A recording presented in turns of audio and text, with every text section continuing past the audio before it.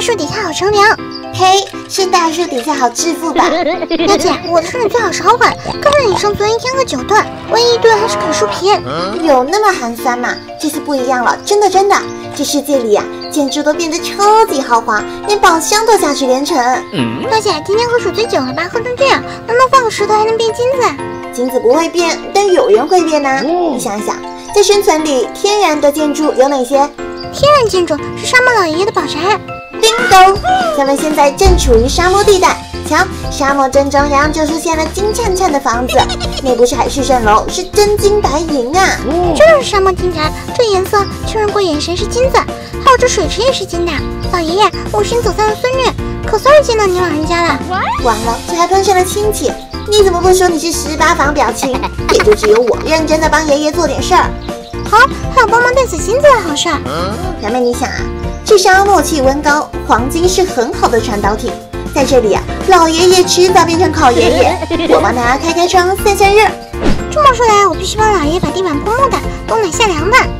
你可真行啊，这点金子就把你勾引住了。那这水晶宝箱，水晶宝箱，标题说价值连城。你等等我，这就是宝箱，我看看。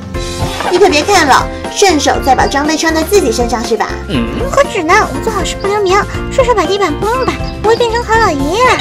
是不会，这是他的锤子。不知道会不会往你的脸上砸？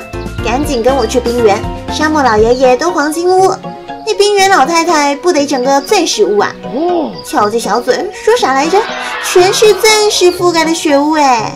表姐，这玩意有什么外力啦？也不是，主要是我挖不动啊。那就好，这是我当年走散的天然物，没想到又回来了。你这也不装一下啦？那满箱的钻石金子装备耶，也是我的。你就当是我的啦。这下咱们在这世界里再难的生存也不怕啦。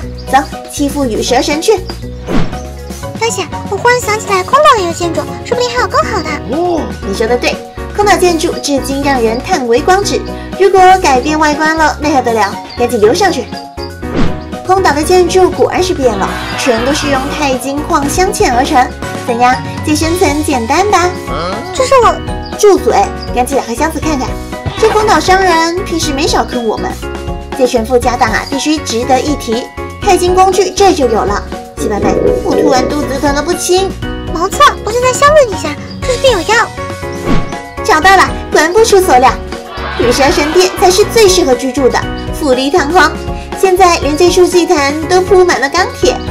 我就知道了，你背着我做一些见不得人的事儿。这怎么就见不得人啦？我挖挖孔雀石怎么啦？哎，小妹妹，你去哪？没有，我也肚子疼，找个地方方便。至于让你这贪财了进去，我还有剩吗？大哥，借道走走。啊，知道了，知道了。他正好做梦，不想起来，我帮了他一把。